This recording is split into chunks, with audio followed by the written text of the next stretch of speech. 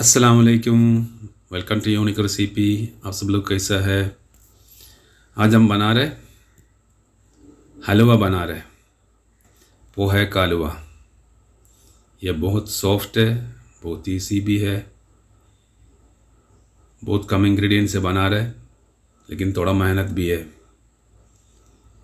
इसके लिए क्या क्या इंग्रेडिएंट्स चाहिए, कैसे बनाने का तरीका आपको आगे आगे बताएगा।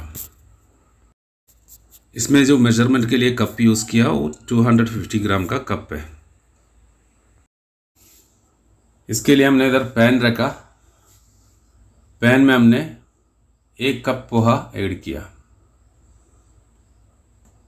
एक कप बोलेगा तो हमने आपको बताया, पहले 250 ग्राम का कप है। ये पोहा थोड़ा रोस्ट करने का, ज़्यादा नहीं, थोड़ा रोस्ट करके निकालने का। हल्का से रोस्ट करके निकाल के फिर इसको मिक्सी में अच्छा से पेस्ट बना के पीसने का। अभी ये टू थ्री मिनट के बाद अच्छा से रोस्ट हो गया। अभी इसको ठंडा करने के बाद मिक्सी में पीसने का। अभी इसको मिक्सी में अच्छा से पीस के निकालेगा। इसको अच्छा से हमने पीस के निकाला अभी। अभी हम इसमें ऐड करेगा एक कप नारियल का दूध तिक्को वाला नारियल का दूध एक कप। थोड़ा थोड़ा करके ऐड करके इसको इसको अच्छा से मिक्स करने का। ये एक कप दूध में इसका मिक्सिंग पूरा नहीं हो जाएगा। इसमें हमने दोबारा ऐड करेगा। इसमें अभी हम ऐड कर रहे हैं एक कप और पतला वाला नारियल का दूध। थोड़ा थोड़ा करके इसमें मिक्स करके ऐड करने का। हमने पहले वा तिक्को वाला नारियल का दूध ऐड किया, अभी दोबारा ये पतला वाला है। इसमें भी ये काफ़ी नहीं हो जाएगा। अभी ये पूरा अच्छा से मिक्स करने का थोड़ा थोड़ा करके अच्छा से मिक्स करने का। अभी हम इसमें पहले एक तिक वाला नारियल का दूध एक कप ऐड किया, फिर पतला वाला। अभी इसमें हमने एक कप पानी ऐड कर रहे हैं। एक कप पानी ऐड करके अच्छा से इसको मिक्स करने का। फिर भी इसका मिक्सिंग अच्छा नहीं हो जाएगा। इसमें अभी मिक्सी में अच्छा से पीस के निकालेगा। अभी इसको अच्छा से मिक्स करने के लिए हमने मिक्सी में एक बार पीस के निकालेगा। अच्छा से पेस्ट करके निकालेगा। अभी इसको मिक्सी में अच्छा से पेस्ट करके निकालेगा। इसका थिकनेस अभी ऐसे हो गया। ज़्यादा पतला भी नहीं है, ज़्यादा गाढ़ा भी नहीं। अभी इसको बनाने के लिए शुरू करेगा। साथ में हमने इधर बना के रखा डेढ़ सौ ग्राम गुड़ का सिरप बना के रखा। हमने येलो कलर का गुड़ यूज़ किया। अगर आपका पास ब्लैक वाला रहेगा तो अच्छा रहेगा, ब्लैक हलवा बना सकते हैं। अभी हमने बनाने के लिए शुरू कर रहे हैं। हमने बर्तन रखा इधर। बर्तन में जो बैटर बना के रखा था इसमें ऐड कर रहे हैं। इसमें ऐड करके इसको अच्छा से हिलाने का। ये लो फ्लेम में रख के तैयार करने का। इसको लो फ्लेम में ही बनाने का अच्छा से हिलाते रहने का, नीचे नहीं लगने का। अगर आप में से कोई भी मेरे वीडियो में पहले बार आया please don't forget subscribe my channel don't forget press the bell icon like and share and comment please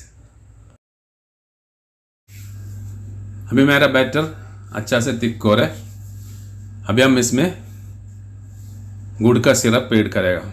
गुड़ का सिरप छान के डालने का हमेशा छान के ऐड करने का। इसमें कचरा बहुत रहेगा।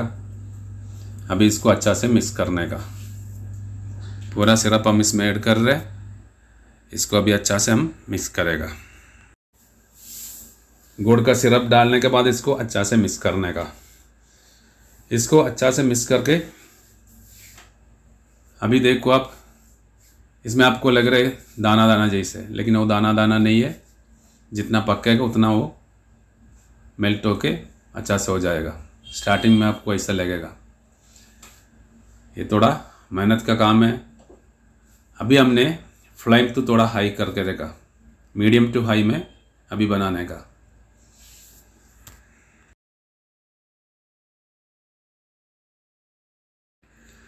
अभी हम इसमें ऐड करेगा पिंज ऑफ़ साल्ट ऐड करेगा। इसका मीठा बैलेंस करने के लिए थोड़ा साल्ट हमने इसमें ऐड किया। अभी इसको अच्छा से मिक्स करने का।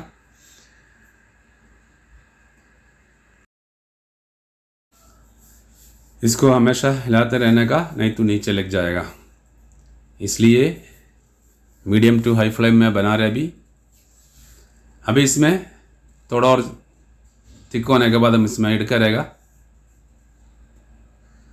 इलायची पाउडर और घी अब ये थिक हो। रहा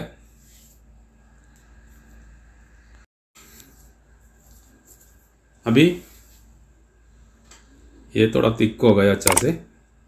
अभी हम इसमें ऐड करेगा असली घी। अभी हम इसमें ऐड करेगा असली घी चार टेबल स्पून। पहले दो दो टेबल स्पून ऐड करेगा, इसको अच्छा से मिक्स करके फिर दोबारा हमने ऐड करेगा, दो टीस्पून इसको अच्छा से मिक्स करने का भी। ये हमेशा याद रखने का मीडियम टू हाई फ्लेम में अभी इसको हिलाते रहने का नहीं तो नीचे लग जाएगा।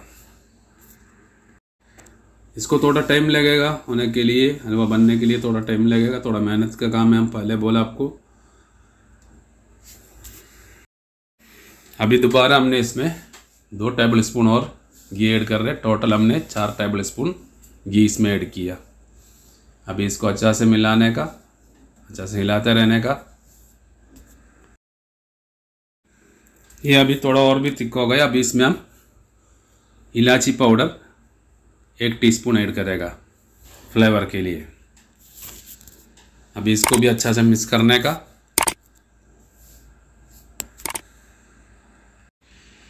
ये अभी और भी थिक हो गया। साथ में हमने इसमें ऐड किया। वाइट तिल, सफ़ेद तिल ऐड किया। अगर आपका पास कैजू है, बादाम है, सब इसमें ऐड कर सकते हैं। हम इसमें वाइट तिल और सिंगदाना ऐड कर रहे हैं। जो भी हमारे पास, हम इसमें ऐड कर रहे हैं। थोड़ा थोड़ा करके ऐड कर रहे हैं। अभी इसमें हमने सिंगदाना ऐड किया थोड़ा। अगर आपको घी यूज़ नहीं करने का, आप ऑयल भी यूज़ कर सकते हैं। हमने इसमें घी यूज़ किया, असली घी यूज़ किया, आपको मनते तो आप ऑयल भी यूज़ कर सकते हैं। अभी भी बना रहे हमने मीडियम टू हाई फ्लेम में। खाली स्टार्टिंग में हमने लो फ्लेम में बनाया। बाकी सब मीडियम टू हाई फ्लेम में बना रहे अभी ये तैयार हो गया। अभी इसको हमने शिफ्ट करेगा। दूसरा बर्तन में शिफ्ट करेगा, उसमें हमने थोड़ा घी लगा के और सिंगदान और वाइट तिल लगा करेगा उसमें शिफ्ट करके इसको ओवरनाइट रखेगा तो सबसे अच्छा है।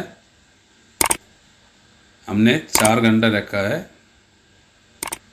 इसके ऊपर हमने थोड़ा वाइट तिल और सिंगदाना और भी ऐड कर रहे हैं। अभी इसको हमने चार घंटा या पाँच घंटा रखेगा। इसका बाद इसको निकालेगा, लेकिन इसको ओवरनाइट रखेगा तो और भी अच्छा रहेगा। ये हलवा बहुत सॉफ्ट है। वो टेस्टी भी है, लेकिन थोड़ा मेहनत का काम भी है। अभी इसको थोड़ा ऐसा सेटिंग करके ठंडा करने के लिए रखने का। हमने पाँच घंटा रूम टेम्परेचर में ठंडा करने के लिए रखा, अभी निकाल दिया इसको।